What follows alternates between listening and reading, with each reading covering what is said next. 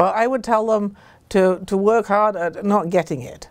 Um, because it's it's uh, relatively easy to avoid if you use common sense and don't do drugs and don't have unsafe sex.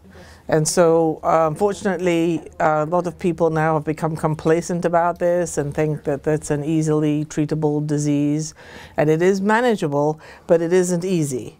And so, it's very much better not to get it in the first place than to have to start coming to a clinic like this and going through all the procedures that people have to do and just living with, with this for the rest of your life. Because mm-hmm. even though we can manage it, we can't cure it at this, this particular time. But we're working on it, but we're not there yet.